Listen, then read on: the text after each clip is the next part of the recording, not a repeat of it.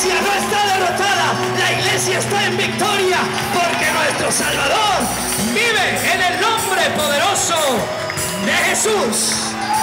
Aleluya. Ya su nombre.